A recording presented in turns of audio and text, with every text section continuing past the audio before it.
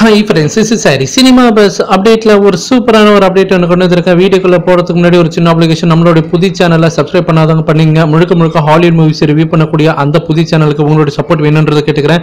Already பார்த்தீங்கன்னாக்கா நிறையா ஆயிரக்கணக்கான பேர் வந்து சப்ஸ்கிரைப் பண்ணிருக்கீங்க. ரொம்பவே ஹாப்பி ரொம்பவே சந்தோஷம். ஸோ மீண்டும் பார்த்தீங்கன்னாக்கா அதற்கான லிங்க் நம்மளோட டிஸ்கிரிப்ஷனில் தந்திருக்கேன். பண்ணாதவங்க பண்ணீங்க ஸோ இப்போ வீடியோக்குள்ள போயிடலாம். ஸோ இன்றைக்கு மதியானத்துல இருந்து பார்த்தீங்கன்னாக்கா தேவையில்லாத அணி உதய் அப்படின்ற ஒரு ஹேஷ்டேக் பார்த்தீங்கன்னாக்கா ரொம்ப மாசா வைரலாக போயிருக்கு இந்திய லெவலில் பார்த்தீங்கன்னாக்கா ட்ரெண்டிங் இருக்கு என்ன காரணம் அப்படின்னு பார்க்கும்போது உதயநிதி ஸ்டாலின் அவர்கள் பார்த்தீங்கன்னா ஒரு ட்வீட் ஒன்று போட்டிருக்காரு இப்போ கொஞ்ச நேரத்துக்கு முன்னாடி மதியானம் ஸோ அந்த ஒரு ட்வீட்டுக்காக தான் இப்போ எல்லாருமே இவரை வச்சு செஞ்சுருக்காங்க என்ன அப்படின்னு பார்க்கும்போது பிள்ளையார் பத்தினாக்கா பிள்ளையார் போட்டோ அதாவது விநாயகர் சதுர்த்தி கொண்டாடுற மாதிரி ஒரு ஃபோட்டோ வந்து போட்டிருக்காரு. ஸோ அதை போட்டுட்டு எந்த விதமான ஒரு கேப்ஷனோ இல்லை ஸ்டேட்மெண்ட்டோ எதுவுமே போடல. இப்போ இவர் எல்லாருமே வச்சு செஞ்சுருக்காங்க ஸோ பனிமலர் உங்களுக்கு எல்லாருக்குமே தெரியும் ஒரு முக்கியமான செலிபிரிட்டி அவங்க பார்த்தீங்கன்னாக்கா இது ஒரு தேவையில்லாத ஆணி அப்படின்ற மாதிரி அவங்க போட்டிருக்காங்க. ஸோ அடுத்தது எல்லாருமே ஒவ்வொருத்தங்களா மீம்ஸ் போட்டு கலைக்க ஆரம்பிச்சிட்டாங்க. அதாவது கலைஞர் தொலைக்காட்சியில் வந்து விடுமுறை தின சிறப்பு கொண்டாட்டம் அப்படின்னு சொல்லி போட்டு எல்லா நிகழ்ச்சியும் போட்டுட்டு இப்போ மட்டும் இதுக்கு விநாயகரோட ஃபோட்டோ போட்டு இப்போ என்னத்துக்கு முட்டு கொடுக்குறீங்க அப்படின்னு சொல்லிட்டு பயங்கரமா வச்சு செஞ்சிருக்காங்க.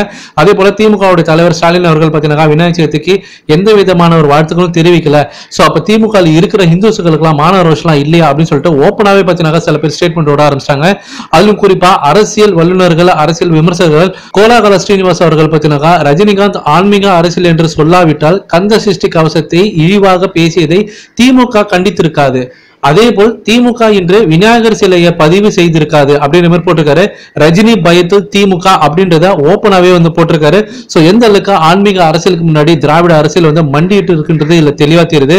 அதே போல இன்னொன்று விஷயம் சினிமா பாணியில கூட சொல்லலாம். ஒரு ரசிகர் போட்டிருக்காரு. உங்க அப்பா ஸ்டாலின் சிங்காரம்னாக்கா உதயநிதி சார் நீங்க ஜித்து மாரி நீங்க தான் எங்களோட மிகப்பெரிய ஒரு trump card. Two thousand twenty one எலெக்ஷன்ல ரஜினி சார் உங்களை வச்சு தான் கேம் ஆட போறாரு.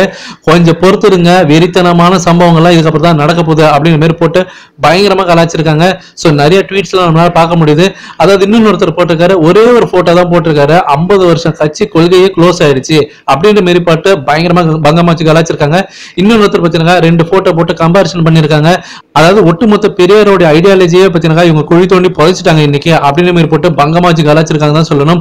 ஸோ நிறைய ட்வீட்ஸ் நம்மளால பார்த்து முடியுது. இப்போ ஆன்லைன் சோஷியல் மீடியால ரொம்ப வைரலா பண்ணிருக்கு நேஷனல் லெவலில் ட்ரெண்டிங்ல பண்ணிருக்கு ஸோ எந்த அளவுக்கு ஆன்மீக அரசியலோட ஆட்டம் பார்த்தீங்கன்னாக்கா நாளுக்கு நாள் வந்து அதிகரிச்சுக்கிட்டே போறதுக்கு இது ஒரு மிகப்பெரிய எக்ஸாம்பிள் தான் சொல்லுவேன். சமீபத்தில் கூட அரசியல் விமர்சகர் சுமந்த் ராமன் அவர்கள் பார்த்தீங்கன்னா ரஜினி சாருக்கு இது ஒரு மிகப்பெரிய ஆப்பர்ச்சுனிட்டி இது. ஸோ இந்த நேரத்தில் அவர் வந்து ஒரு பக்காவான ஒரு டிசிஷன் எடுத்து ஒரு சரியான ஒரு பொலிட்டிக்கல் மூவ் எடுத்து ஒரு பொட்டன்ஷியலான ஒரு கூட்டணி அமைச்சாக்கா கண்டிப்பா மிகப்பெரிய மாற்றத்தை ரஜினி சாரால உருவாக்க முடியும். மக்கள் எல்லாருமே இப்ப ஒரு சேஞ்சுக்காக எதிர்பார்த்துனுக்காங்க ரொம்ப ஸ்ட்ராங்கா மக்கள் பார்த்தீங்கன்னாக்கா இதை நோக்கி பயணிக்க ஆரம்பிச்சிட்டாங்க இந்த கொரோனா காலத்துல. ஆனால் கொஸ்டின் என்னன்னாக்கா ரஜினி சார் அதை செய்வாரா அப்படின்ற மாதிரி கேள்வி எழுப்பியிருக்காரு. அதாவது ரஜினி சாரை திட்டி தீத்தவங்களா இன்னைக்கு அவர் வரமாட்டாரான்றத ஏங்குற அளவுக்கு பார்த்தீங்கன்னா ரஜினி சார் மாத்திருக்காரு இதுவே ஒரு மிகப்பெரிய மாற்றம் தான் நான் சொல்லுவேன். சோ வரக்கூடிய காலங்கள்லாம் இன்னும் பாருங்க திமுக கிட்டத்தட்ட பட்டையை போட்டுட்டு ஒவ்வொரு வீடா போய் ஓட்டு கேட்க போறாங்க. அந்த அளவுக்கு அவங்களோட நிலைமை மாறப்போகுதுன்ற மாதிரியே நம்ம கமெண்ட்ஸ் எல்லாம் பார்க்க முடியுது ஆன்லைன் சோஷியல் மீடியால இதை பத்தி உங்களுடைய கருத்துன்றதை கீழே சொல்லுங்க ஃப்ரெண்ட்ஸ்